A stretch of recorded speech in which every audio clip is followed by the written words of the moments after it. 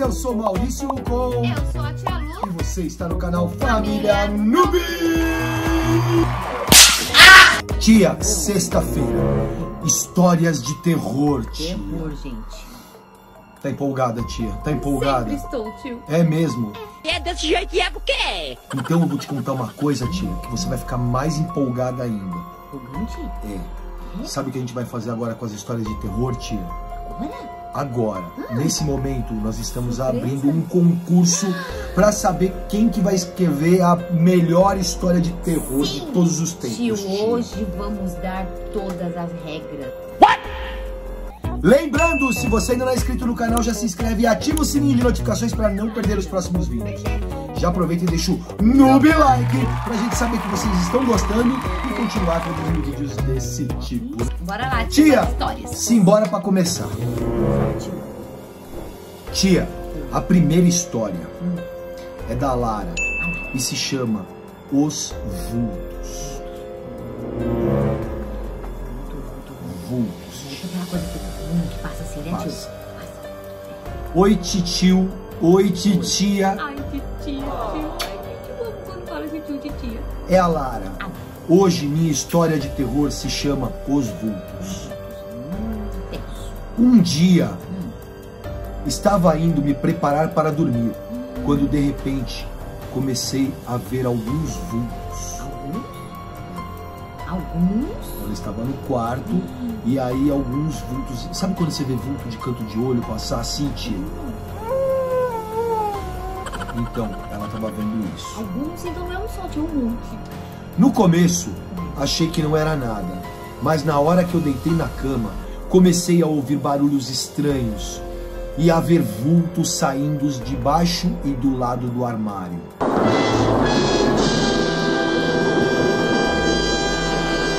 De baixo, tio. Assim, de baixo. De baixo. Meu irmão já tinha dormido e meus pais também. Sozinha na casa acordada. Corri para o quarto da minha mãe, a chamei e contei tudo o que aconteceu, mas ela não acreditou. Sacudiu a mãe pra acordar. Acorda, mãe. Minha mãe Coitada. veio ficar comigo no meu quarto e depois de um tempão acordada, enfim consegui dormir. Aham, sei. A mãe? Dela foi no quarto dela para ficar com ela, Eu entendi. entendeu? Quem Até dormiu? ela dormir. Ah, até a Lara ela- dormir. Ela achei que Exatamente, a mamãe tinha dormido. Ela demorou para dormir, mas ela Tadinha. dormiu. Ela conseguiu dormir, tia. Tadinha dela, gente. No dia seguinte, Ai, teve outro dia. olhei debaixo do armário e não tinha nada. Não tinha? E até hoje não sei se aquilo era uma ilusão ou se aconteceu de verdade. Também não sei. Um beijo, amo vocês. Outro beijo, nenê. Tio, eu acho que o, o- os vultos eram amigos. Não, nada a ver, irmão. Será, tia? E os amigos queriam brincar de esconde-esconde, pega-pega no quarto dela. Dessa vez, tia, eu tenho certeza de uma coisa. Não era o Bug. Não era o Bug. Porque era um monte. Que eram vários, O tia. Bug não tem irmão. Tia, essa foi a história da Lara, que se chamava Os Eu fiquei com um pouco de medo, tio. Eu também, tia. Por quê? Eu vejo esses negócios de vulto. Você vê vulto, tio? Eu vejo às vezes passando assim. Para, tio.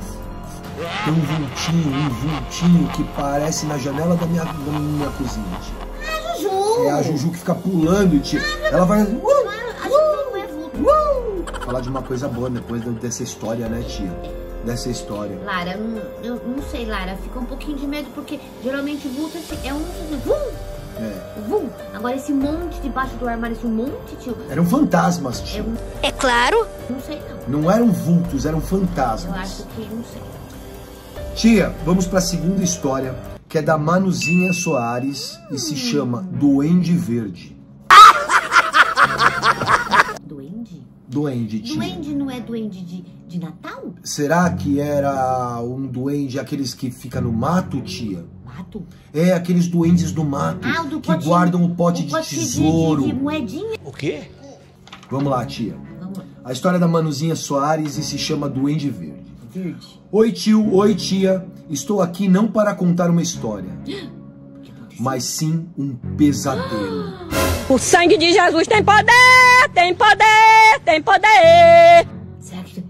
Terror terrorífico, tio? Eu acho que é. Será que ela deu de. Cara, Não, eu acho que é um pesadelo que ela teve, tia. mas não foi um pesadelo de tipo. a- o acontecimento foi muito terrorífico? Pode ser, tia.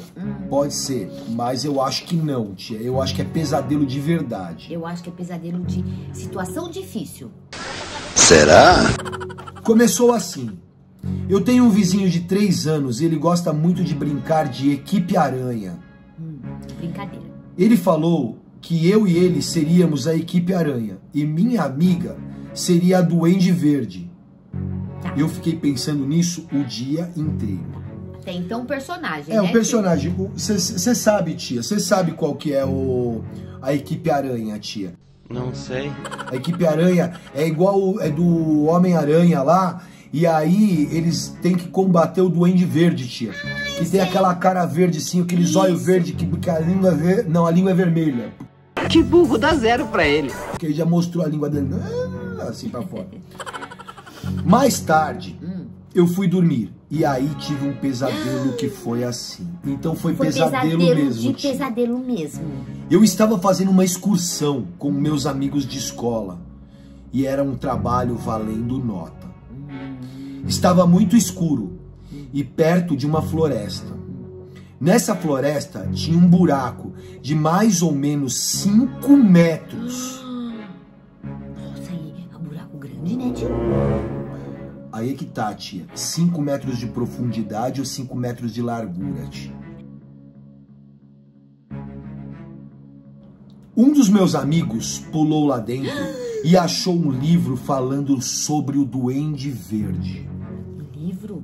Ele tem livro do Duende Verde? Tem, tia, é do, do Homem-Aranha contra o Duende Verde. Eu achei que entendeu? era só a Luluca que tivesse livro.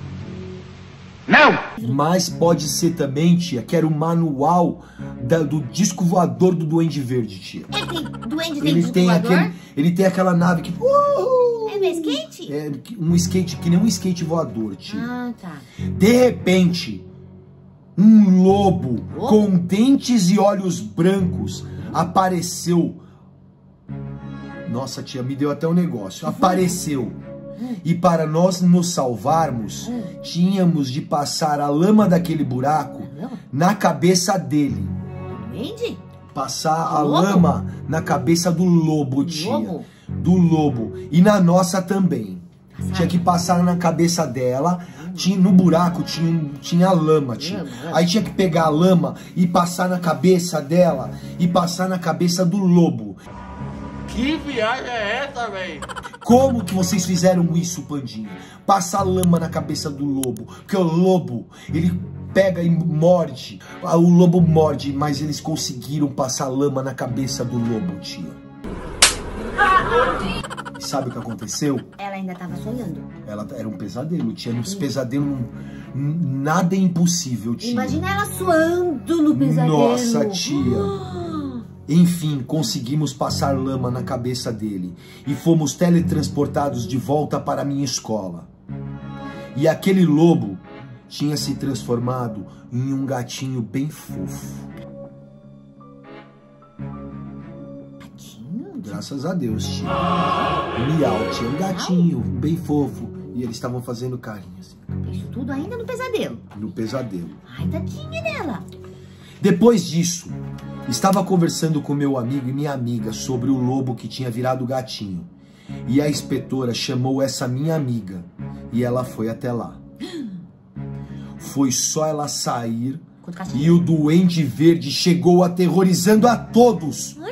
Todo mundo gritava: O Duende Verde! O Duende Verde! Ela não é da floresta. O, o duende não é da floresta. Era, tia, mas, Mas quando ele a- foi pra escola. Aí é que tá, tia. Lembra mais cedo que a amiga tava brincando com o vizinho dela e falou que ela era doente verde? Aquilo ficou na cabeça dela, tia. Por isso que quando a amiga dela saiu, que a inspetora chamou ela, a professora chamou ela, e a amiga saiu, saiu pra quê? Pra se transformar no duende verde, tia.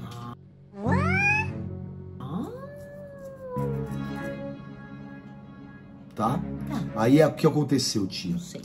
Quando o Duende Verde sumiu, minha amiga reapareceu.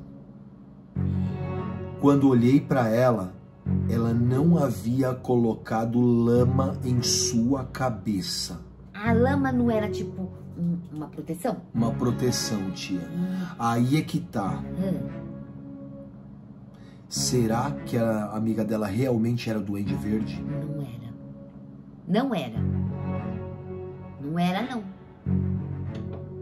A professora, percebendo que minha amiga estava sem lama na cabeça, Comeu ela. Quer dizer, ela a chamou para passar lama.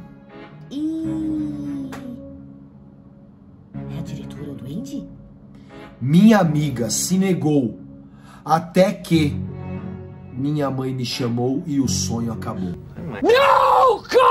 Ah! Tia, agora a gente vai ficar sem saber. Meu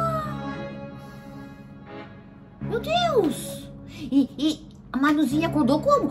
Toda descabelada, não foi, tio? Contei para minha mãe e depois contei para minha vizinha. E? E a minha vizinha falou que também tinha sonhado com o Duende Verde. Ah! Porque ficou na cabeça, tia, aqui. Tio, então um amiguinho que queria ser também o, o da equipe das Aranha Verde? Do, do Grupo Aranha. Nunca nem vi. Mas ele não participou do sonho, tia. Do, quer dizer, do pesadelo. Um beijo pra Luluca, pro tio Maurício, pra tia Lu, pro Luluca pai, pra tia Sally e pra Mili. Até a Mili ganhou beijo, tia. Essa foi a minha história de terror. Então, Beijos. O que. Eu, eu não tô entendendo, gente. Vocês contam aí os sonhos, os pesadelos, o- os terror e não terminam? Tia, até eu fiquei com medo do Duende Verde. Eu acho que eu vou também. sonhar com ele hoje. para, tio, eu não vou, eu não vou dormir. Tia, amei as histórias. Também fiquei- Estou apaixonado. fiquei até descabelada, gente. Mas agora vamos falar uma coisa que interessa muito, tia. Isso. Vamos falar sobre isso aqui. O livrão da Tia, Esse é meu, tio. esse aqui, esse aí é seu, eu sei, tá? Já tá autografado. O meu também já tá autografado, que o meu é aquele ali. Esse aqui é do Pandinha, que ainda não tá autografado, mas vai ser autografado. Vai ser. E serão quatro. Quatro livros. E funcionará da seguinte forma, tia. Prestem atenção, Presta pandinhas. muita atenção, muita atenção, tá? Vamos lá. Você vai fazer a sua história de terror. E nós vamos ler todas as histórias de terror, Antes tá? de gravar o vídeo. Antes de gravar o vídeo. As quatro melhores histórias vão levar o livro. Todos os livros serão autografados pela Lulu. Beleza? Beleza? Até aí? Ótimo. Beleza? Serão quatro livros sorteados. Sorteados não. Quatro livros Quatro serão livros. dados para as quatro melhores histórias. Duas numa sexta-feira, E duas na outra. na outra. Exatamente.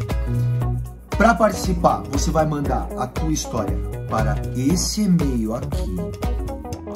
Esse aqui, tá? Lá você também tem que colocar o teu telefone de contato, tá? Precisa ter o telefone de contato. Por quê, tia? Porque a gente já fez sorteio e depois a gente tentou encontrar a pessoa e não encontramos mais. Não encontramos, gente. Não encontramos mais. É a verdade, não minto. No título do e-mail, desse e-mail aqui que você vai mandar para esse e-mail, no título tem que estar o nome da história e o seu nome. Por exemplo, a tia Lu vai mandar uma história pra lá. Vai colocar: Tia Lu, minha história é a boneca de porcelana. Tia, quero mandar um beijo gigantesco e desejar um feliz aniversário pro amorzinho da Baby, Baby Pandinha. Parabéns, muitos anos de vida. E desejar também um.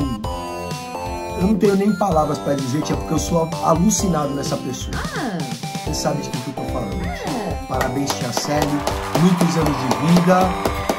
Te amo demais. Nós te amamos demais. Célia, É isso aí, eu sei, tia, que você é apaixonada Eu por ela também. apaixonada pela Então, parabéns, tia Sally. Muitos anos de vida, muita paz, muita saúde, muito amor.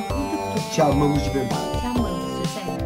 E esse foi mais um vídeo do nosso canal, espero que vocês tenham gostado. Lembrando, se você ainda não é inscrito, já se inscreve e ativa o sininho de notificações para não perder os próximos É vídeos. isso aí. Deixe seu noob like pra gente saber que vocês gostaram e voltar com mais histórias de tudo. É. Um super beijo e até o próximo vídeo.